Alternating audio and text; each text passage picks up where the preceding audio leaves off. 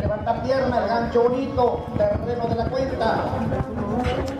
Regionales de Villaflores impusieron condiciones en el segundo día de actividades del primer torneo charro, el Padrino 2016, que lleva el nombre del señor y púa del Estado, Carlos de Jesús Bermúdez Álvarez.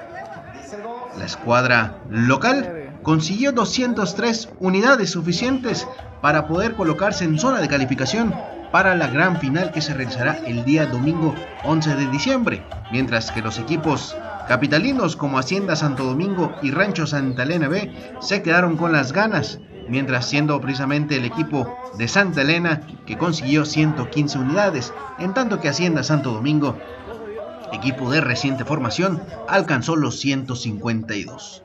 Con 195 y colocándose hasta el momento en el cuarto lugar de la clasificación, los charros de Tecpatán con 195 tantos. Así que hasta el momento todo está abierto y falta un día más de competencias en el lienzo Enoc R. Moreno.